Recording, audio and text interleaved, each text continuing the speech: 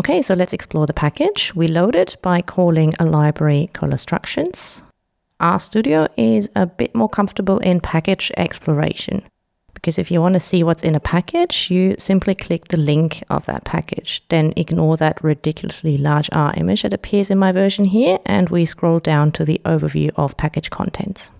You can click the description file to get information on the package version, package developer, and citation information how to acknowledge the use of the package if you use it on data for publication, term papers, or thesis.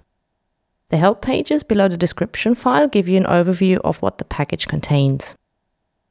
The Collostructions package, like many packages, contains two types of objects, functions and datasets. There are three functions for performing simple, distinctive, and covariant collexeme analysis, and two functions to merge lists of frequencies.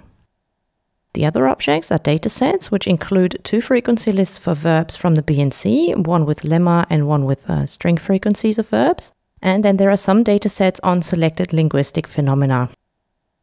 Behind the links for each object is the object's documentation or help file. For instance, to view what's in the Begin to V dataset, click the link. These help files usually contain a short description, and in this case, the dataset contains the frequencies of verbs in the open slot of the Begin to V pattern, such as begin to feel, begin to take, and so on. Help files usually also contain information on the format of a dataset. In this case, it's a data frame with two columns where the word is in the first column and its frequency in the pattern is in the second. At the end of each help file should be examples to illustrate how the dataset can be used.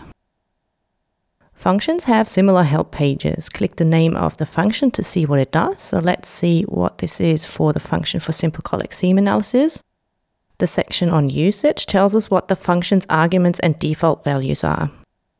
These are explained in the section arguments. A detailed description is in the section Details, and what's under Values explains what the output of the function contains. The section Notes generally provides information on usability. References contain literature suggestions, usually those underlying the method implemented. At the bottom we see some examples on how to use the function and we will run a few of them in the next clip. If you're not working with RStudio, you can access the help file for functions and objects by using a question mark in front of the object name. This will open a new window with the help file.